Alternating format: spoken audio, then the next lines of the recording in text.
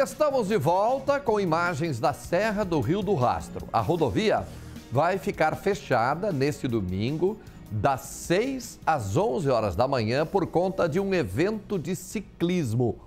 O trecho que será fechado compreende o Parador Mirante, em Lauro Miller, até Bom Jardim da Serra. Logo após a prova, o trajeto será liberado para os motoristas.